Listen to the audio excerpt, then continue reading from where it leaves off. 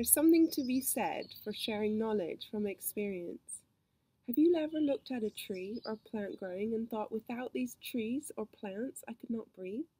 And without my exhalation, the tree could not breathe. Today I'm going to share with you my journey, which brought me to have a greater awareness of the breath. Life gives us a chance to build our strengths to live a happier life. This week, try practicing mindful, concentrated breathing. I too will document myself on a five day challenge with these four methods, remembering to fill your belly and expand your rib cage with each breath.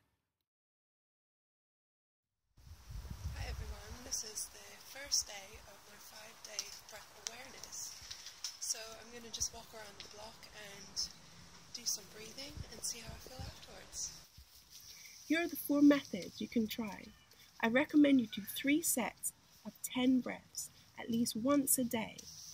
This averages five minutes each technique. The first breathing technique is when you breathe in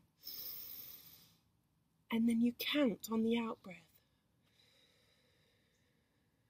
You do all the breathing quietly internally. When you reach 10, then you repeat three times.